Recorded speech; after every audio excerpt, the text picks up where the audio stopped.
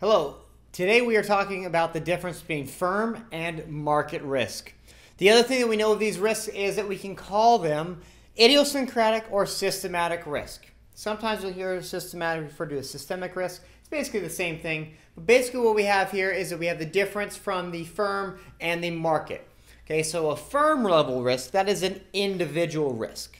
Okay, that is the risk of just General Motors going bankrupt. Okay, General Motors goes bankrupt, and that is going to be bad for the stockholders of General Motors. However, that is not going to mean that the entire S&P 500, a broad collection of the market, is going to fall. Okay, it just means we have an individual company that is going bankrupt. Okay, now an example of market risk. Okay, market risk is when the entire market, systematically, the entire market is falling. This would be an example of most recently of back in 2008, where we had a major recession. The value of, of all equities, most all equities, was falling. Okay, so that is what we have is the difference there. Now, the reason that we care about this is because of diversification.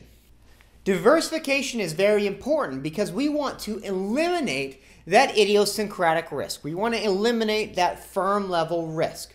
The reason being is that if I am a, an investor, right, is that I don't want to leave everything that I have in General Motors, right? That's all my eggs in one basket, which we know we don't want to do.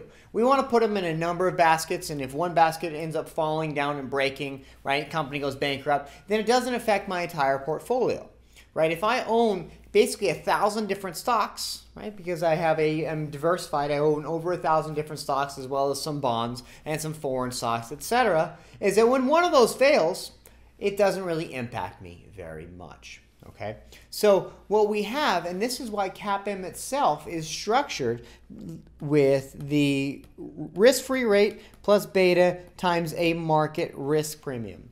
What we have here is that this beta here is that idiosyncratic risk.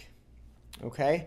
And so what we're able to do when we when we diversify in a portfolio is that we can't eliminate that idiosyncratic risk by offsetting it with another investment. Okay? So example is if we have radio, if we own Radio Shack and Radio Shack is failing, is not doing well as a stock, is that there's something else, another company that is doing much better now, right? Because they're capturing the sales that Radio Shack once had. And when they do that, that other company, such as Amazon or Walmart, their stock price ends up rising.